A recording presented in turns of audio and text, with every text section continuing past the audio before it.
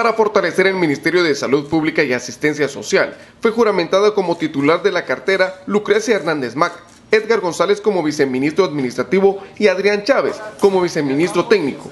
En conferencia de prensa, Hernández Mac manifestó que se estarán suprimiendo dos viceministerios, el de los hospitales y el de atención primaria en salud. Mucho tiempo funcionaron bien solamente dos viceministerios, posteriormente se crea en, el gobierno de, Oscar Bercher el viceministerio de hospitales y fue hasta el gobierno anterior que se creó el viceministerio de atención primaria en salud.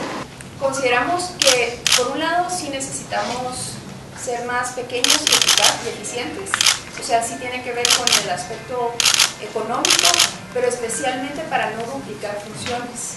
Entonces, lo que nos interesa en este momento es fortalecer esa los hospitales, como las áreas de salud, eh, de manera integrada dentro de esa dirección para poder tener una red de servicios más integrada y en donde fluye mejor la atención a los usuarios. Inicio desde la reforma, la propuesta que se está planteando incluye mecanismos como por ejemplo fortalecer esos espacios de, participación y de auditoría social, nos parece eso muy importante de, mantener.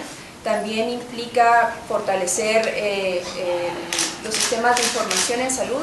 Entendemos que el Congreso tiene que cumplir con el rol de fiscalización y con gusto estaremos respondiendo a sus inquietudes e informando sobre los avances del Ministerio.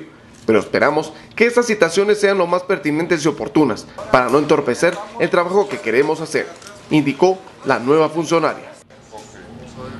Para DCA TV informó Noé Pérez.